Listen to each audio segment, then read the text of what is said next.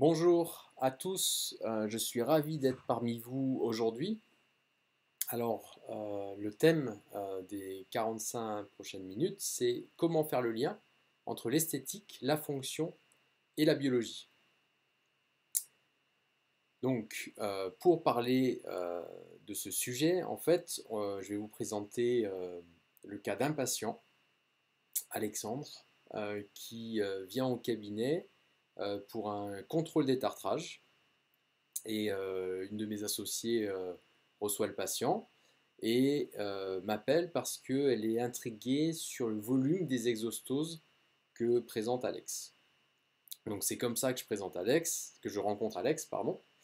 je rencontre Alex et bah, finalement les exostoses et le volume des exostoses c'est essentiellement dû aux forces qu'exerce Alex sur ses dents et donc sur le parodonte. Et on voit qu'Alex a perdu euh, déjà beaucoup d'émail.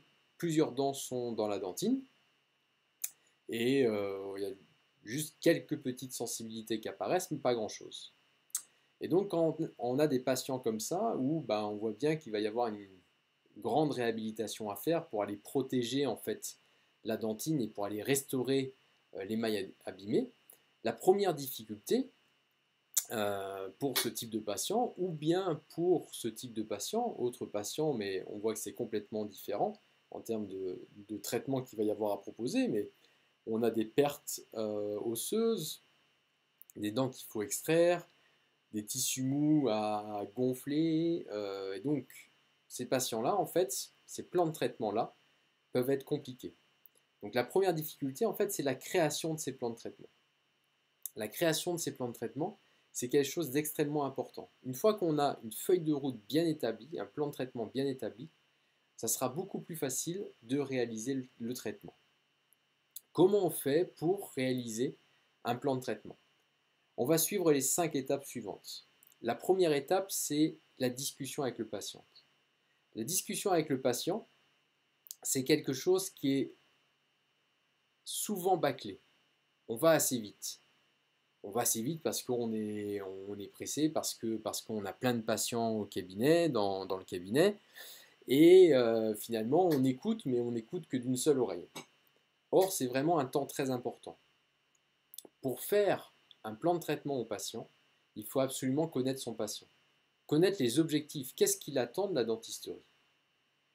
Tous les patients n'attendent pas la même chose de la dentisterie.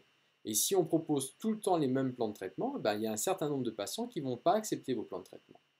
Donc, écouter le patient, connaître les objectifs, qu'est-ce qu'il veut comme type de dentisterie, euh, connaître ses limites. Quelles sont ses limites? Ça peut être ses limites financières, mais c'est aussi des limites en temps, quelquefois. On a des patients qui sont extrêmement pris et qui, qui n'ont pas le temps de venir. Donc ça, c'est des limites aussi à connaître. Euh, des limites, ça peut être des limites de peur. Des patients ont extrêmement peur de la chirurgie. Un patient qui a extrêmement peur de la chirurgie, ça va être compliqué de lui faire accepter un plan de traitement où il faut des implants. Alors quand je dis ça, je ne dis pas qu'il faut faire des compromis. Je dis qu'il faut juste intégrer le fait que, ok, ce patient-là a peur de la chirurgie, il faudrait des implants, mais de toute façon, il ne fera pas les implants. Trop de peur.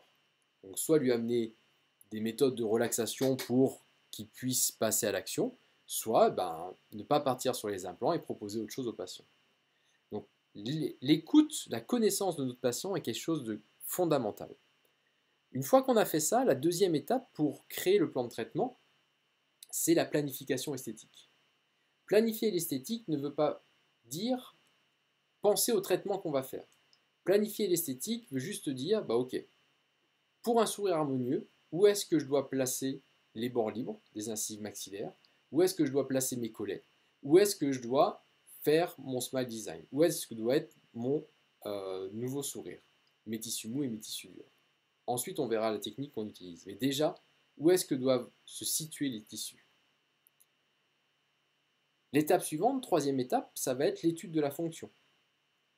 Pour Alex, étude de la fonction, ça va être OK, Alex, euh, est-ce que je reconstruis en OIM ou pas?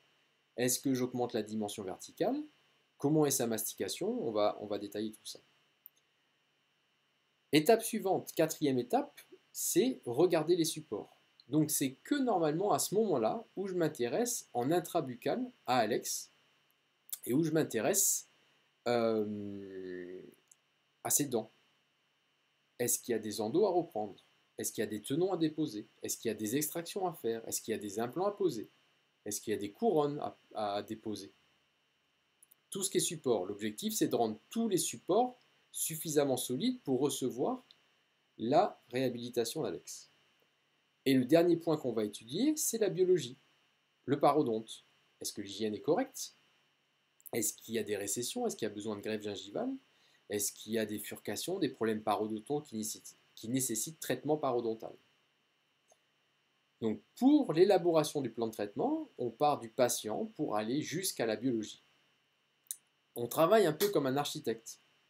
Un architecte, si vous allez voir un architecte pour construire une maison, avant de vous proposer un design de maison, il va vous écouter. Qu'est-ce que vous aimez en termes de design?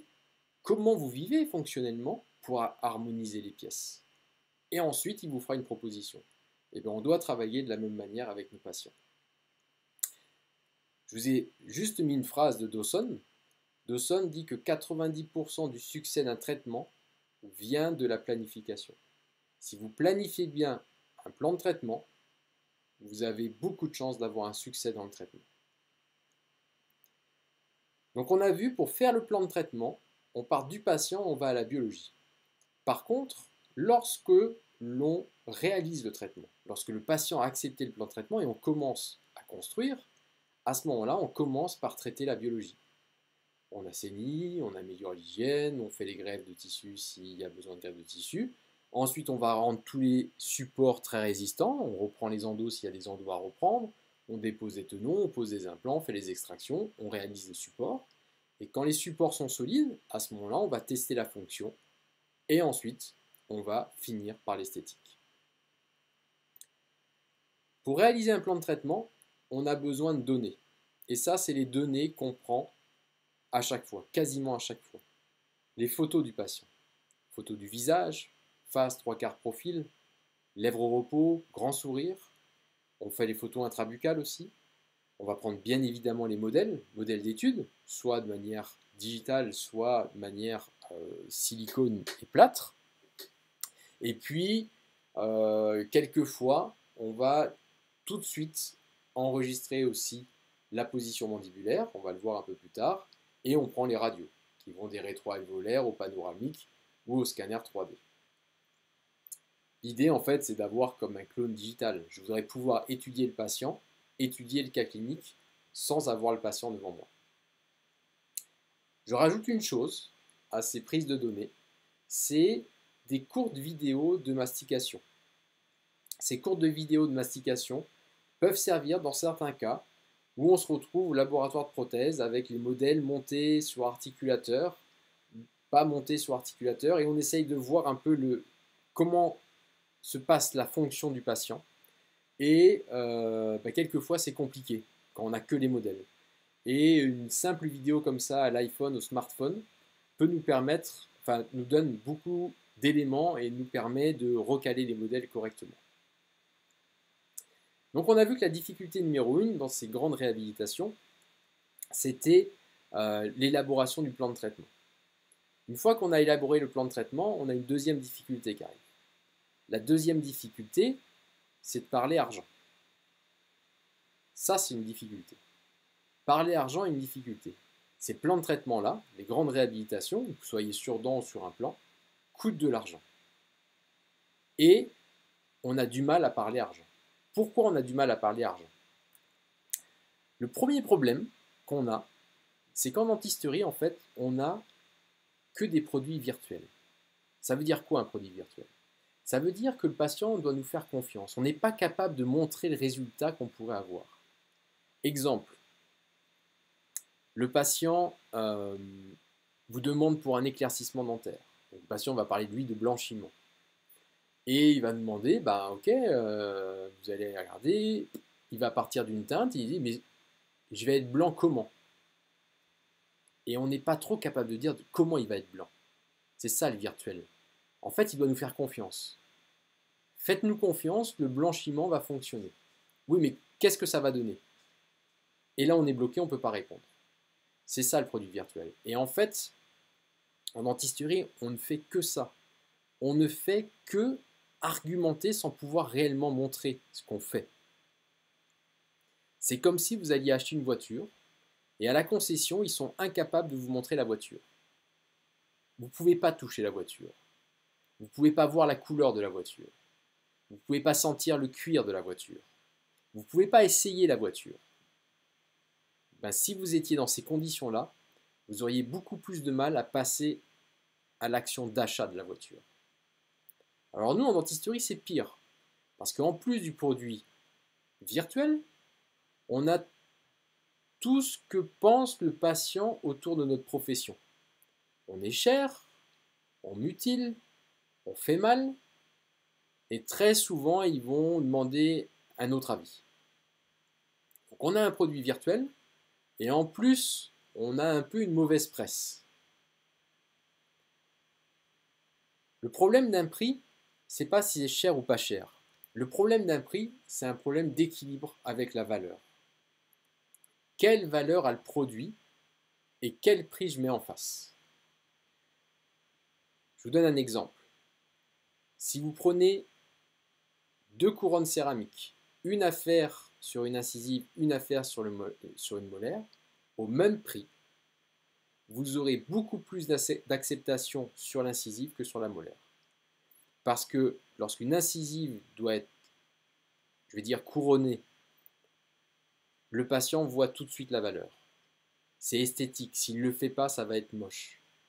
Donc, il y a de la valeur, il est capable de mettre le prix. Vous proposez la même chose, le même prix, la même céramique sur une molaire, il y a beaucoup moins de valeur pour un patient. C'est une molaire, ça ne se voit pas, il a d'autres dents pour manger, et donc il y aura un taux d'acceptation moins important. Prix, valeur. Ce qui veut dire que nous, il faut créer de la valeur. Il faut qu'on upgrade nos patients pour que finalement la dentisterie des dents, ça soit important, créer de la valeur.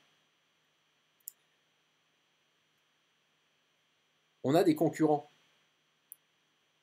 Nos patients n'ont pas des moyens illimités. En tout cas, les miens n'ont pas des moyens illimités. Ils ont un budget, ils gèrent le budget, et on a des concurrents. Les concurrents, c'est qui? Les concurrents, c'est les nouvelles voitures, c'est les rénovations de maisons, c'est les vacances, c'est le shopping, plein plein de choses, toute la, la société de consommation. Dans les priorités du patient, la majorité du temps, la dentisterie arrive bien tard. Donc, on a un produit virtuel, on a mauvaise presse, on ne sait pas vraiment créer de la valeur, et ce n'est pas une priorité pour le patient. Et on doit présenter un devis au patient. Il faut retenir une chose, c'est pour accepter un devis, pour passer à l'action d'acheter de, quelque chose, c'est toujours l'émotion qui nous fait passer à l'action. C'est pas parce que vous avez réfléchi que vous passez à l'action. Vous passez à l'action parce qu'à un moment donné, vous avez l'émotion et vous dites Ok, j'y vais. Et ensuite, vous réfléchissez et vous trouvez des excuses pour euh, justifier cet achat. Alors, qu'est-ce qu'on peut faire avec ça, avec, tous ces grands thèmes là autour de l'argent? Qu'est-ce qu'on peut faire en dentisterie? On va revenir à Alex. Je vous ai dit, pour faire le plan de traitement, il faut connaître Alex. Donc, la première chose, il faut penser bah, ça sert à rien que je propose un plan de traitement à Alex si lui, il n'est il pas du tout intéressé par la dentisterie. La deuxième étape, c'est la planification esthétique. Donc je fais ma deuxième étape, planification esthétique. Pour la planification esthétique, j'utilise le DSD, Digital Smile Design, qui a été euh, développé par Christian Kochman. En fait, à partir d'une photo, de, plusieurs photos en fait, euh, du visage du patient avec le sourire, on va zoomer en intraoral et de l'intraoral, en fait, on va designer ce qui pourrait être le futur sourire du patient. Alors, ce n'est pas quelque chose de standard, c'est juste une aide pour aider, guider le prothésiste. Donc, ça va permettre de faire des mesures et ça va me permettre, ça va permettre au prothésiste après de réaliser un wax-up. Donc, à cette étape-là, je vais demander au prothésiste de me faire un wax-up uniquement des 10 faces vestibulaires, uniquement les 10 faces vestibulaires du maxillaire, du sourire du patient. Je reçois ce wax-up et ce que je vais faire, c'est que je vais faire un mock-up. Et je vais filmer le mock-up. Donc ici,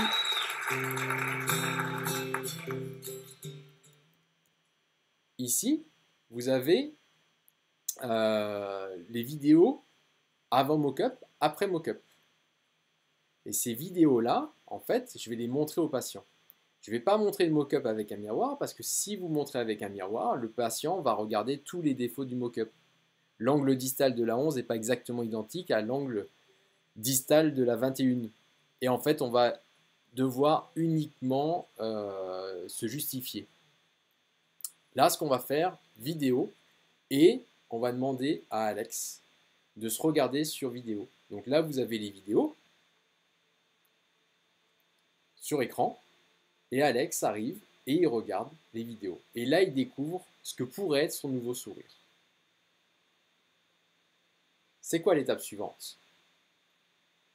L'étape suivante, une fois qu'Alex a vu ça, pourquoi on lui montre ça? Parce que le produit qui est virtuel, on va commencer à le transformer en réel. Là, Alex, c'est comme s'il avait essayé la voiture. Donc l'étape suivante, c'est de lui proposer le plan de traitement qui lui correspond avec le chiffrage financier pour que ensuite Alex puisse accepter le plan de traitement. Combien on facture cette phase 1 Ça, ça s'appelle la phase 1 chez nous.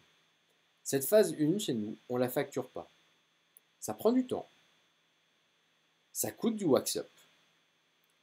Mais on ne facture pas. Je ne facture pas parce que, encore une fois, je, je vais prendre l'exemple de la voiture qui marche assez bien. C'est comme si vous vouliez essayer une voiture que vous potentiellement pourriez acheter et qu'on vous dise, ben, écoutez, pour essayer la voiture, vous devez payer 400 euros. Eh ben, si on vous disait pour essayer la voiture, ça coûte 400 euros, je pense que peu de monde essaierait la voiture. Je pars de ce principe-là, et donc cette phase-là, je ne la facture pas. Vous pouvez très bien facturer cette phase 1. C'est comme vous le souhaitez. Ce que je veux donner dans cette phase 1, et même après, dans dans le reste du traitement, en fait, c'est du service. Et cette phase 1, c'est vraiment pour moi du service. Le service, de donner au patient la possibilité de se faire soigner. Le service de donner au patient la possibilité de sentir qu'est-ce que pourrait être son traitement. Quand le patient a accepté le plan de traitement, on a une troisième difficulté qui arrive. La difficulté fonctionnelle. Fonction, occlusion, position mandibulaire. Qu'est-ce qu'on fait avec tout ça? On a un patient qui a usé, on a un patient qui a usé, mais qui a peut-être euh, pas perdu de dimension verticale parce que peut-être qu'il y a eu des égressions compensatoires, compensatrices. Donc comment on fait? Comment on fait avec ça? On a pas mal de questions sur, euh, la fonction. Bah, comme je viens de le dire, est-ce qu'on doit augmenter la dimension verticale? Oui, non. Et si oui, de combien on doit l'augmenter? Et comment on l'augmente? Et est-ce qu'on va l'augmenter par le maxillaire ou par la mandibule ou par les deux arcades? Et quand on a décidé d'augmenter, comment on teste la nouvelle occlusion? Qu'est-ce qu'on utilise comme technique? Combien de temps on va le laisser en bouche? Et quand ça a été validé, comment on commence le traitement? Par où? Partie esthétique, partie fonctionnelle, par le maxillaire, par la mandibule? On va essayer de voir ça. Est-ce que je dois augmenter la dimension verticale? La réponse est oui. Oui, pourquoi? Parce que si vous n'augmentez pas la dimension verticale, pour venir coller ici vos restaurations, vous allez devoir prendre la fraise et abîmer ce magnifique émail et cette dentine. Et donc vous allez mutiler. Si vous augmentez la dimension verticale, vous allez vous créer de l'espace et vous allez pouvoir coller les restaurations en préparant à minima. Le problème, lorsqu'on veut augmenter la dimension verticale, on a un problème, c'est la proprioception. La proprioception, en fait, le patient est programmé. Donc quand vous lui demandez d'ouvrir, fermer, d'ouvrir, fermer, il vient toujours à la même place. Et on ne sait pas si cette position est pathogène ou pas. Peut-être qu'elle est pathogène, peut-être pas. Donc comment on peut faire pour augmenter la dimension verticale? Si on regarde la littérature sur le siècle dernier, entre 1900 et aujourd'hui, en fait, on va trouver à peu près 26 définitions de la relation centrée. Ça s'appelle toujours relation centrée, mais en fait, les positions, la position de la relation centrée a un peu varié au fil des années. Et on trouve plusieurs techniques d'enregistrement. À peu près, notez 7 techniques d'enregistrement, qui sont toutes valables. Donc comment on fait? La seule chose que je sais, c'est que si j'augmente sur articulateur, j'ai quand même un fort risque d'erreur. Si je, mets mes modèles en OIM et je monte mon maxillaire et ma mandibule en OIM sur articulateur et que ensuite je demande au prothésiste d'augmenter la dimension verticale par la tige incisive, j'ai un fort risque d'erreur. Pourquoi? Est-ce qu'on est sûr qu'Alex est usé à droite et à gauche de la même manière? Est-ce qu'on est sûr qu'Alex est usé le postérieur et l'antérieur de la même manière? C'est-à-dire que si Alex, au fil des années, par des habitudes parafonctionnelles, avait usé 3 mm d'un côté et 1 mm de l'autre, bah, ça serait bien que moi, quand je fasse la réhabilitation, je, corrige ce décalage. Or, si je monte sur articulateur et j'augmente la tige sur articulateur, bah, je, vais augmenter de la même manière des deux côtés. Donc c'est pour ça que c'est une technique que j'aime pas. Quelles que soient les écoles occlusales, en fait, ce qu'on recherche tous, c'est une position d'équilibre. Et c'est une position de référence, une position reproductible. La position d'équilibre, c'est quoi? La position d'équilibre, c'est une harmonie entre les dents, les muscles, les articulations. Tout ça, ça doit travailler ensemble. Et tout ça, ça travaille ensemble, dirigé, contrôlé par le système nerveux central. Ici, on a un schéma tiré du bouquin de Marcel Le Gall, et je vais vous en reparler après. En fait, eh ben en fait, euh, autour du desmodonte, on a des mécanorécepteurs, et ça envoie des infos au système nerveux central, qui vont envoyer des infos aux muscles, et qui vont venir positionner la mandibule, et donc les articulations. Donc il faut prendre en considération tout ça. Il y a un autre livre à côté que je vous ai mis, c'est Peter Dawson, qui est un gnatologiste, donc qui s'occupe essentiellement des ATM. Et en fait, il dit quelque chose de très intéressant, c'est que quand les dents et les muscles sont en guerre, les muscles ne perdent jamais. Et Alex en est un bon exemple.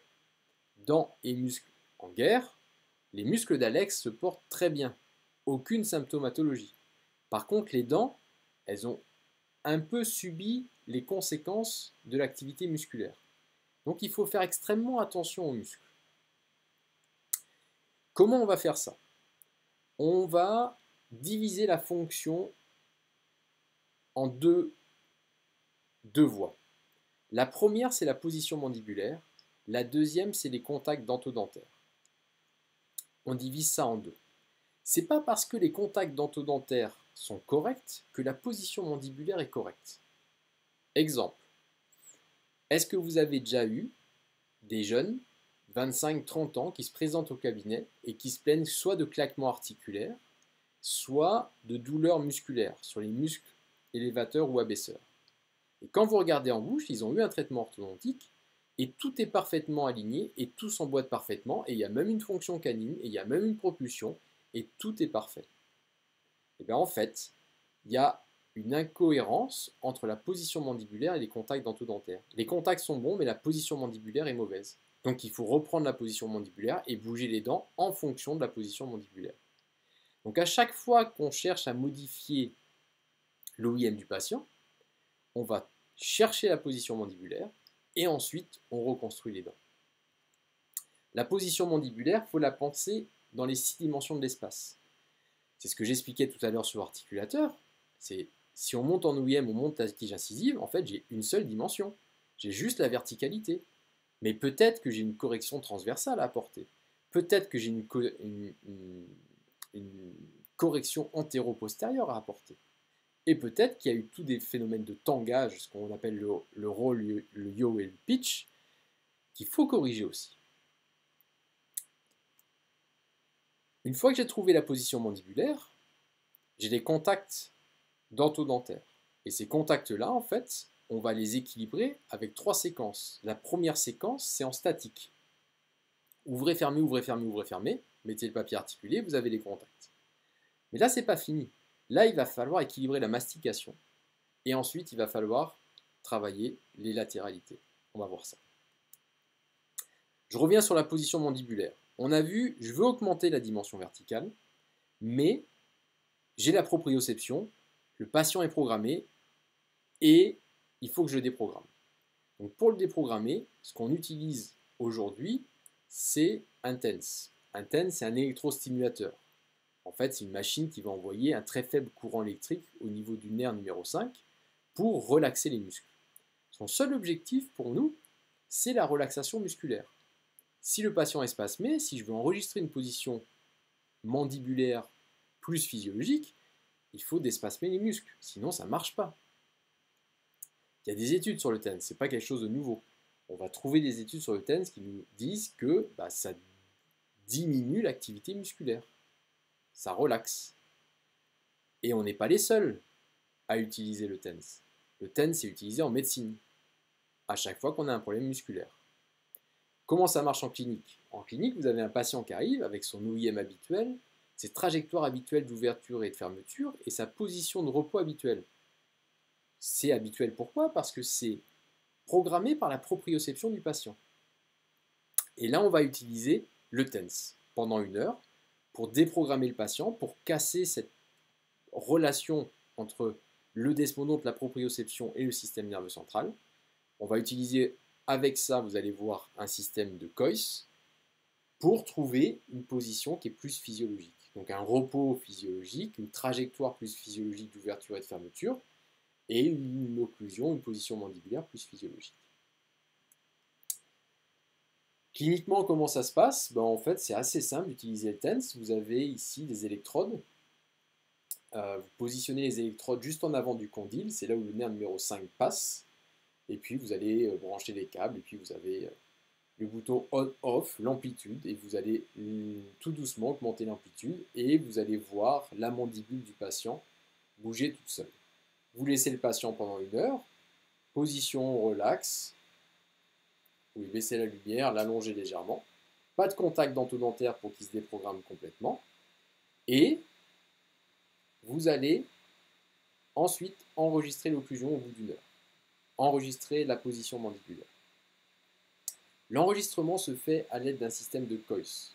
Ça, c'est un système de COIS. Donc en fait, c'est comme une plaque palatine avec en avant de la plaque palatine, en fait, euh, comme un bourrelet, une plateforme en résine qui va nous servir à stabiliser la mandibule.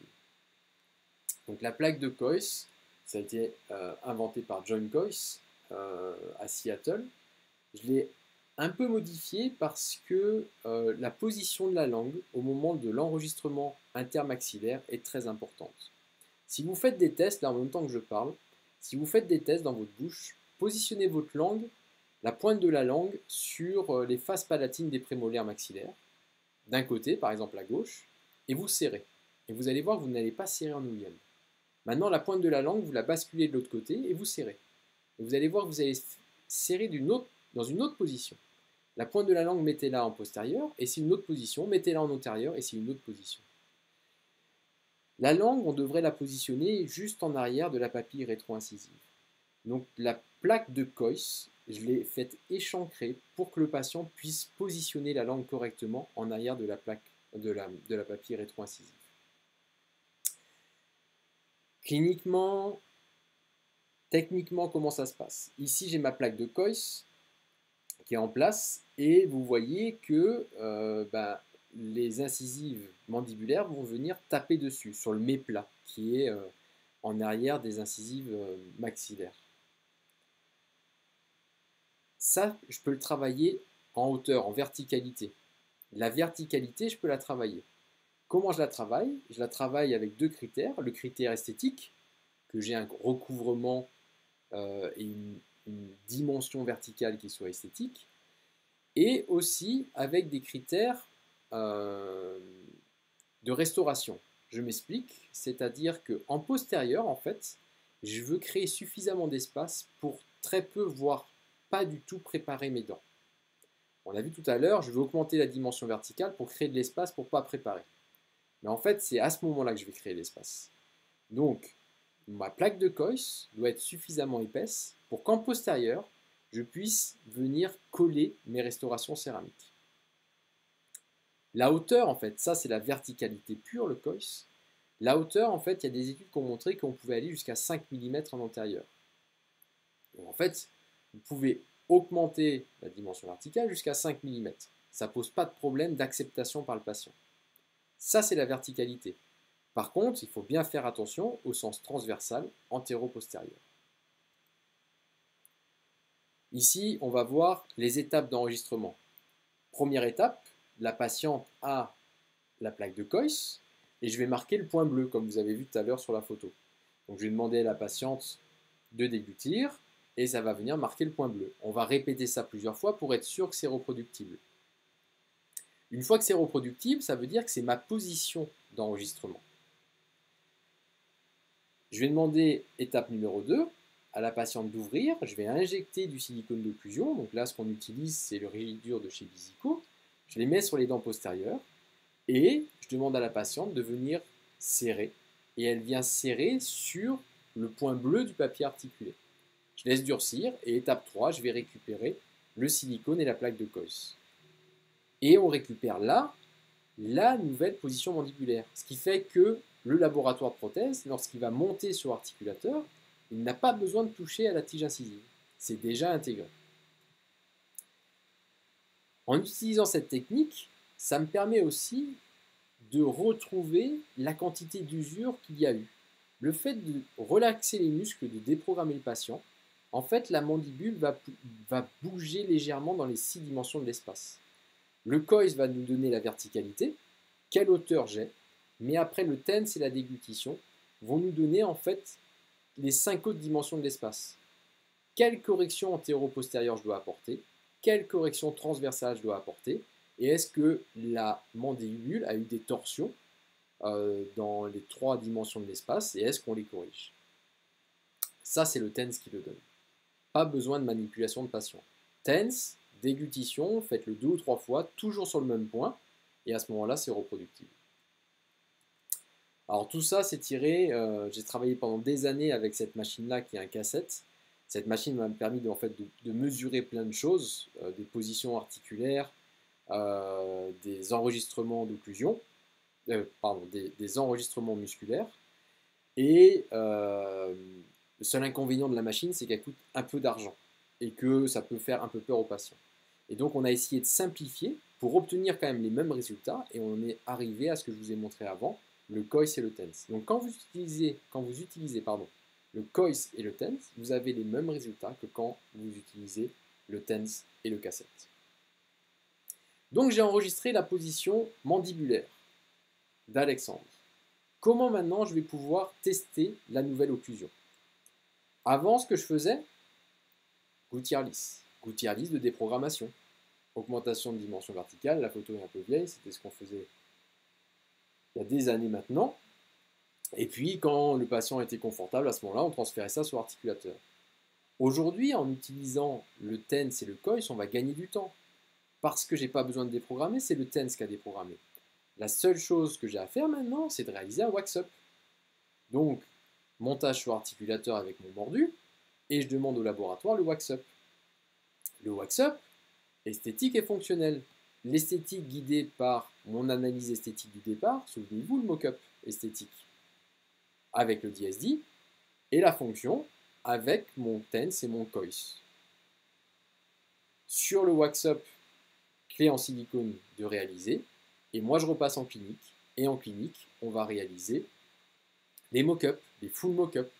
Full mock-up qu'on va laisser entre un mois et trois mois. Un mois si on a des usures qui sont d'origine chimique, parce que c'est des patients en fait qui sont très adaptables et ils acceptent beaucoup de choses. Donc pas la peine d'attendre trois mois. Par contre, sur des patients qui peuvent être des patients plus comme Alex, des bruxeurs, ou des patients qui, qui ont des symptômes musculaires ou articulaires, à ce moment-là, je vais valider ma position pendant trois mois.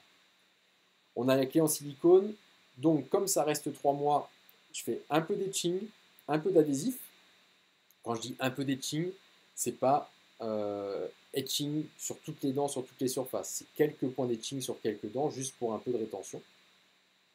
Adhésif, et on met en place pour réaliser le moqueur. Maxillaire et mandibulaire. Lorsqu'ils sont faits, les excès sont éliminés. On arrive à l'étape d'équilibration. Les trois étapes d'équilibration. Le statique, la mastication et vérifier la fonction de groupe, fonction canine et propulsion. Donc ça, ça fait partie des difficultés. Difficulté numéro 4. Statique. Voilà le type de point qu'on veut obtenir. Contact cuspide fausse. Des contacts, pas des surfaces, des points, des contacts, des cuspides qui viennent s'engrainer dans les fosses. Et on cherche à répartir sur toutes les dents. Si jamais il vous en manque une, c'est très facile. Vous prenez un peu de composite flow et vous recréez la cuspide. Ça va très vite. Je laisse au départ une très légère béance antérieure, comme vous pouvez le voir ici. Pourquoi je laisse la béance antérieure? Parce qu'il est possible que le patient cherche à déprogrammer un peu et à avancer, à créer une légère antéposition. Et ça, je, le permets au patient. Donc en fait, c'est la physiologie du patient qui va finir de positionner exactement la mandibule. Quand je dis une légère béance, c'est-à-dire que quand je mets mon papier articulé quasiment 40 euh, microns, je vais avoir quelques contacts très légers. Et après, si je prends euh, le papier, euh, le, film à 8 microns, à ce moment-là, le papier va glisser.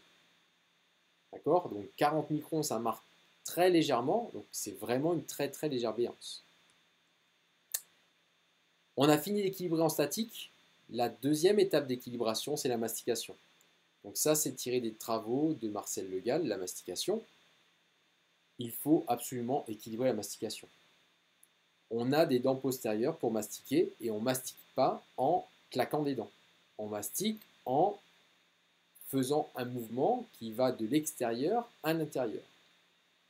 Si la mastication n'est pas équilibrée, on prend du composite flow, comme je suis en train de le faire là sur la vidéo, et on va recréer les versants cuspidiens. Donc ça, ça demande un peu de temps, mais c'est indispensable pour le confort du patient. C'est indispensable à retravailler, savoir si vous êtes en surocclusion à la mastication ou en sous-occlusion. Si vous êtes en surocclusion, qu'est-ce qui va se passer? Vous allez avoir de la casse. C'est pour ça quelquefois qu'on a de la casse sur des couronnes qu'on fait. On fait des couronnes, on vérifie l'occlusion en statique, ça a l'air correct on fait fonction canine, c'est bon, ça marche, sauf qu'on n'a pas vérifié la mastication. Et le, patient va mastiquer dessus, sur occlusion dessus, il ne va pas le sentir, et au bout d'un certain temps, quelques semaines, on va avoir une, une fracture de fatigue. Équilibration de la mastication photopolymérisation, et puis vous faites à nouveau mastiquer le patient. Ce qu'on va chercher à obtenir, c'est des trajectoires sur les prémolaires, molaires et canines. Donc encore une fois, ça c'est le livre de Marcel Legal, vous conseille vraiment d'avoir ce livre dans la bibliothèque, de le lire et de le relire. Donc on voit au niveau des flèches vertes, les trajets de mastication. Ce ne sont pas des interférences. Ce ne sont pas une latéralité. Je n'ai pas demandé au patient de faire une latéralité. J'ai demandé au patient de mastiquer euh, le papier articulé. Donc là, on prend assez gros, on prend du 200 microns pour que le réflexe de mastication arrive. Et on va avoir des trajectoires bah, sur les molaires, normalement, les trajectoires se font sur le pont d'émail. C'est pour ça qu'on a un pont d'émail. C'est parce que c'est plus résistant pour écraser les aliments. On va aussi avoir des trajectoires sur les prémolaires. Donc là, sur la 14, par exemple, au niveau de la flèche verte, on est un peu en surocclusion, c'est un peu trop fort. Et après, très légèrement sur la canine. Équilibration de la mastication à droite et à gauche. On peut repasser la vidéo, c'est pas vraiment nécessaire, là c'est plus pour des raisons pédagogiques. Et la dernière étape de l'équilibration, c'est contrôler soit la fonction de groupe, soit la fonction canine et la propulsion. Mais si la mastication a été correctement équilibrée, ça, ça marche à 100%, il n'y a pas besoin de retoucher. Le patient le porte pendant 3 mois. Tout va bien, il est confortable. Comment je fais pour finir mon traitement bah, pour finir le traitement, vous faites comme vous voulez à la vitesse que vous voulez. Le projet prothétique, vous l'avez. puisque vous avez le mock-up maxillaire et mandibulaire. Le sourire du patient a été validé, c'est ce qu'il a en bouche, le mock-up.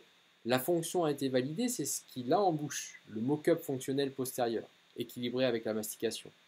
Donc vous pouvez décider de préparer trois dents, de venir réaliser trois céramiques et de coller trois céramiques. Pouvez décider de réaliser les postérieurs, et puis plus tard les antérieurs, les antérieurs et puis plus tard les postérieurs. Les préparations, je vous le rappelle, mais tout le monde le sait, ça se fait à travers le mock-up pour rester le plus superficiel possible. Euh, donc ça, technique développée par Gali Burel, aussi par euh, Pascal Magne. Donc vous allez faire les gorges de préparation à travers le mock-up et puis ensuite finir vos préparations. Quand vous faites les postérieurs, euh, le conseil que je vous donne pour les postérieurs, la dent la plus postérieure avec un contact, donc là pour Alex c'est la 8, vous voyez le contact sur la 8 en mésia de la 8, gardez-le. Gardez-le et préparez cette dent au dernier moment. Donc là vous voyez je vais découper mon mock-up et je vais laisser la 8. Parce que quand je vais enregistrer l'occlusion, la position mandibulaire avec mon silicone, le patient va vraiment être stable au niveau de la 8 et je ne vais pas risquer une remontée du condyle ou une déviation euh, euh, de la mandibule un peu vers l'arrière. Ça va être vraiment bloqué. Et donc on va enlever le mock-up. Alors j'aime bien mettre les mock-up assez blancs, comme ça après on voit bien la différence avec la dent et ça m'évite de toucher euh, la dent et d'enlever quand même suffisamment le mock-up.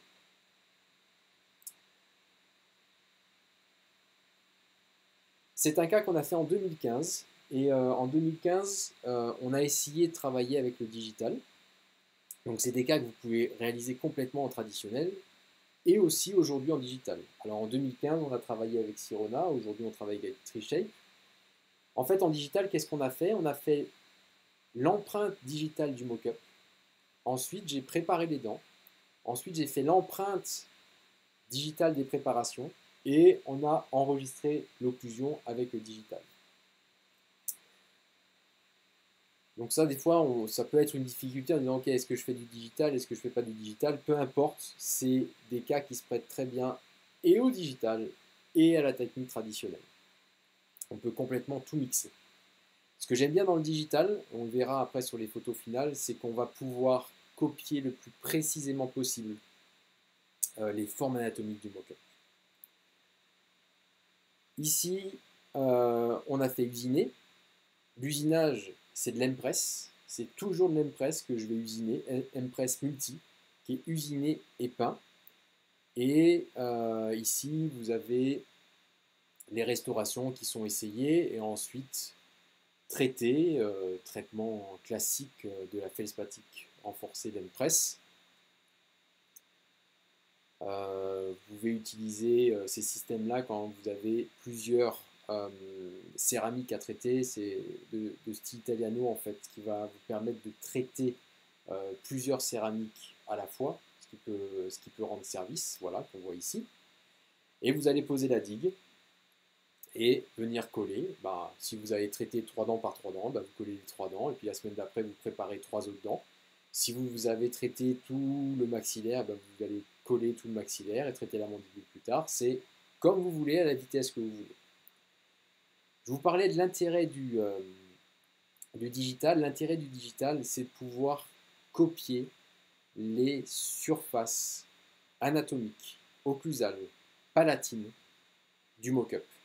Il n'y a rien de plus compliqué pour un prothésiste. Il faut imaginer, on a le mock-up, on a, travaillé la mastication, donc on a donné des, des, versants, des angulations particulières de, nos formes occlusales. Et euh, ensuite, quand on ne travaille pas avec le digital, on prend une empreinte du mock-up en bouche, on donne ça au prothésiste, on prend les préparations et on demande au prothésiste de venir copier. Et ils sont forts et ils copient très bien. Maintenant, je pense que cette étape-là de copie, la machine le fait mieux que l'homme. Donc en fait, la machine va pouvoir superposer les préparations et le mock-up. Et donc va pouvoir usiner ensuite la forme du mock-up, et c'est ce qu'on a ici sur le guide antérieur. Ce guide antérieur-là qui a été usiné, je suis sûr qu'il est exactement identique au guide antérieur du mock-up. Ce que je dis là, ça ne veut pas dire que je me passe du prothésiste, ça n'a rien à voir.